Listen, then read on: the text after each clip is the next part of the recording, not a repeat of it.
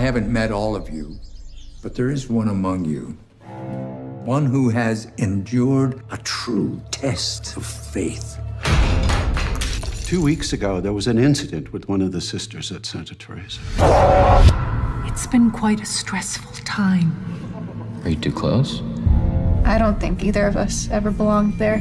What happened was traumatizing, to say the least. We want you to know we have your best interests at heart. Sweet sister. Blessed art thou among women, and blessed is the fruit of thy Jesus. Jesus. Holy Mary, Mother pray for us sinners. If you become afraid, you can't let it show. You have to be strong. And if you see anything strange, stick to the script.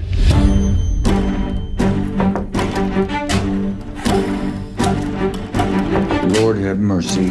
Lord have mercy. Christ have mercy. Christ have mercy. You're frightened.